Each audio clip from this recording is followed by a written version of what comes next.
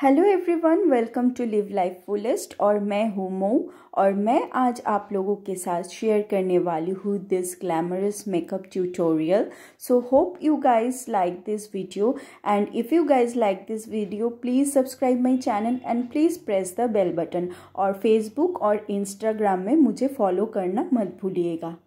Facebook और Instagram का जो लिंक है, वो मैं डिस्क्रिप्शन बॉक्स में डाल दूँगी। So let's jump into the video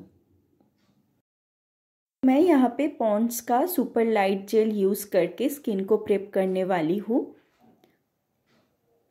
And all the product I am using here I mention it in my description box if you want to check then you can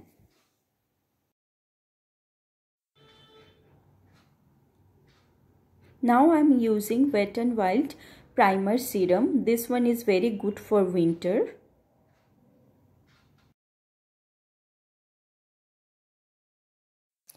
So I have little open pores over my cheek area तो मैं यहाँ पे dab dab कर रही हूँ क्योंकि मुझे यहाँ पे जो पोर्स है वो फिलअप हो जाए। फिर मैं यहाँ पे ये स्टे विकी का कलर करेक्टर पैलेट यूज़ कर रही हूँ। I do not have very much dark circle on my eyes but थोड़ा सा जो है उसको मैं कवर कर रही हूँ। ये थोड़ा सा एक शेड डार्क कंसीलर से। जहाँ पे भी आपको लगे कि थोड़ा सा कलर डिसकलरेशन है तो वहाँ पे आप, आपके स्किन टोन से एक शेड डार्कर कंसीलर लेके उसको फिलअप कर देने से जो मेकअप के बाद जो फाउंडेशन का जो ऐशी लुक होता है, वो नहीं लगेगा। तो यहाँ मैं थोड़ा सा ग्रीन जो कलर करेक्टर है, वो यूज़ कर रही हूँ। मेरे जो यहाँ पे पिंपल्स का स्कार है, उस पर फिर बाद में इसको अच्छे से ब्लेंड करना भी ज़रूरत होता है।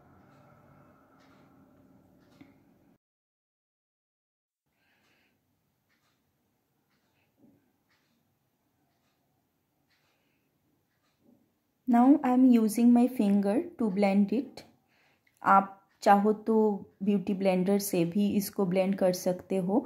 जो कलर करेक्टर है, वो उसको अच्छे से ब्लेंड करना बहुत ज़रूरी है। और यहाँ पे मैं भूल गई थी क्योंकि मैं यहाँ पे लिक्विड लिपस्टिक यूज़ करने वाली हूँ तो इसलिए मैंने अपने लिप्स को बहुत अच्छे से हाइड्रेशन दे दिया। अब मैं यहाँ पे फाउंडेशन यूज़ कर रही हूँ this one is L'Oreal fresh wear foundation and I am in the shade golden beige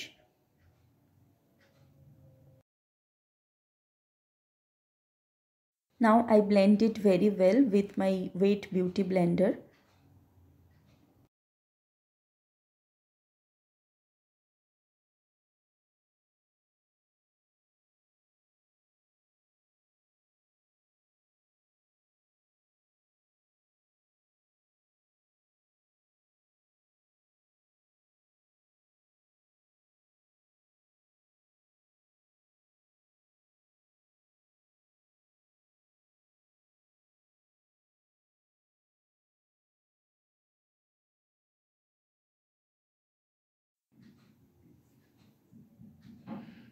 Now I fill my eyebrows with this brown pencil. This one is from Primark.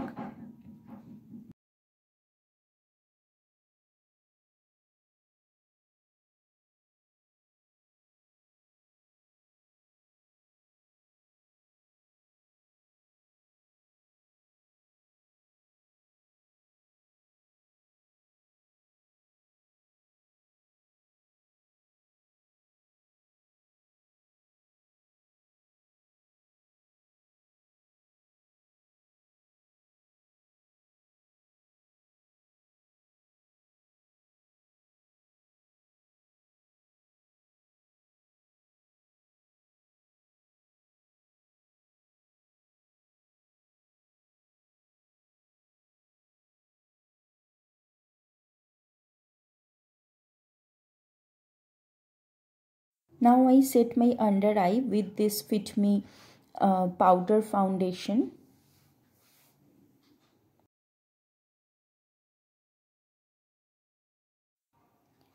for this look i am using this uh, morphe palette this one is one of my favorite palette you can uh, make many look with it तो मैं यहाँ पे एक purple eye shadow लेके आज का eye makeup बनाने वाली हूँ।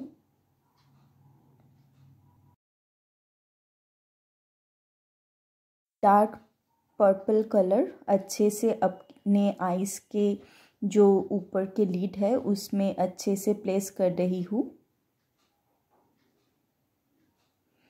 ये थोड़ा सा शिमरी शेड है, इसलिए ये ब्रश से उतना अच्छे से ब्लेंड नहीं हो रहा था।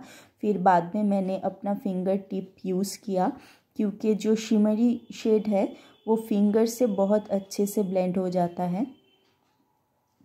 फिर बाद में मैं थोड़ा सा एक लाइट पर्पल शेड देके जो क्रीज लाइन है, उसको बिल्डअप करूँगी। और सेम कलर लेके मैं अपना जो लोअर आई लैश के नीचे के जो एरिया है, उसको भी फिल करूँगी।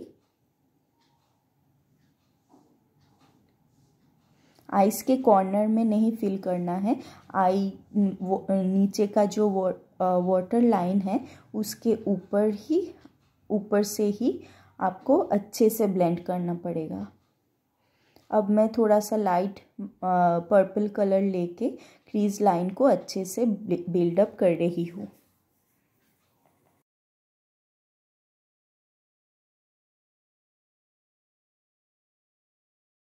अब मैं यहाँ पे एक लाइट पर्पल शिमरी शेड लिया है और आइस के जो मिडिल एरिया है, उसके ऊपर एक हाईलाइट इफ़ेक्ट दे रही हूँ।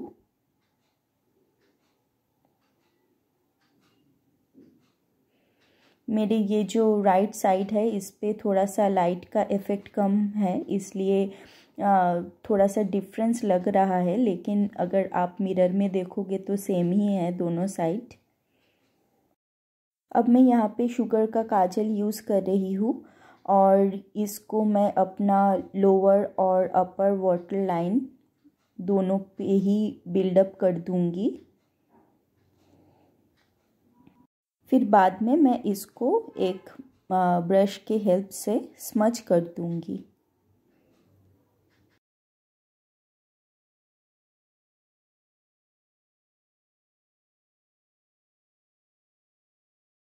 So yeah my eye makeup is almost done अब मैं अपना नोज़ और फेस को कॉन्टोर करूँगी और हाइलाइटर भी यूज़ करूँगी।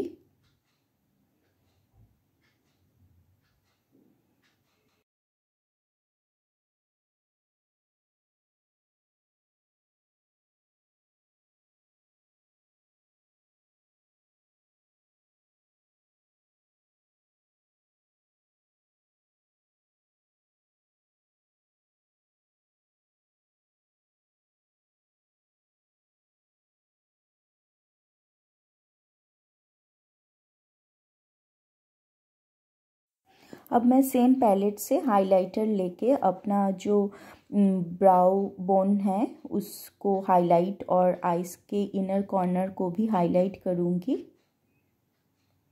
और अपने नोज़ को भी हाईलाइट करूँगी।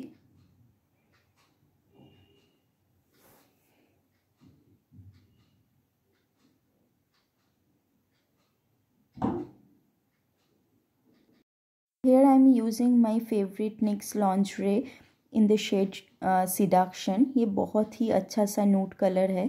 अगर आप हेवी आइज़ कर रहे हो तो ये नूट कलर बहुत अच्छा लगता है।